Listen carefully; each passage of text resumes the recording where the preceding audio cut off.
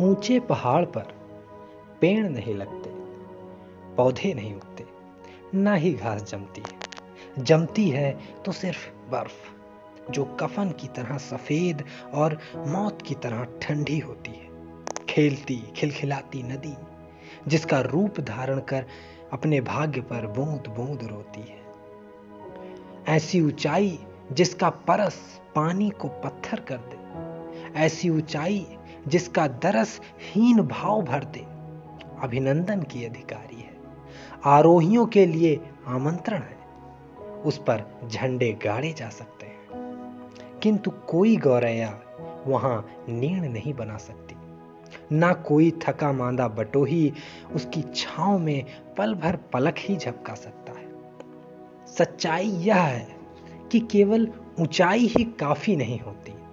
सबसे अलग थलग परिवेश से पृथक, अपनों से कटा बटा शून्य में अकेला खड़ा होना पहाड़ की महानता नहीं, मजबूरी है। ऊंचाई और गहराई में आकाश पाताल की दूरी है। जो जितना ऊँचा, उतना एकाकी होता है।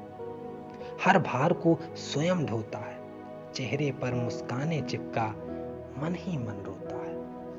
ज़रूरी यह है कि ऊंचाई के साथ विस्तार भी हो, जिससे मनुष्य ठूठ सा खड़ा न रहे, औरों से घुले मिले, किसी को साथ ले, किसी के संग चले।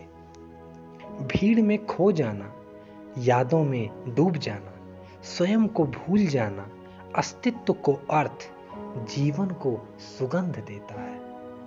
धरती को बौनों की नहीं ऊँचे कद के इंसानों की ज़रूरत है।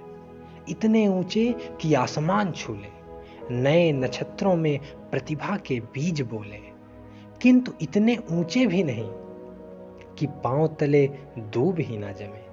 कोई कांटा न चुभे, कोई कली ना खिले। न बसंत हो, न पतझड़ हो, सिर्फ़ ऊंचाई का अंधड़, मात्र अकेलेपन का सन्नाटा। मेरे प्रभु, मुझे इतनी ऊंचाई कभी मत देना। गैरों को गले ना लगा सको। इतनी रुखाई कभी मत देना।